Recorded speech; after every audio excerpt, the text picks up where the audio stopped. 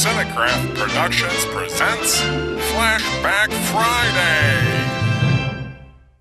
This much we know. Morning starts early on the farm, but plant disease can strike anytime.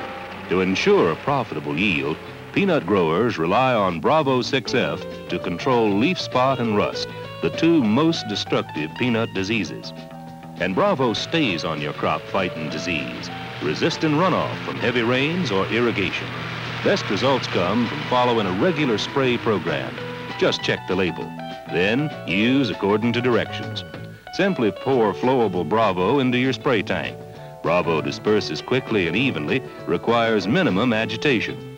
In addition to convenience and disease control, Bravo keeps peanut leaves and vines green longer to extend your harvest season.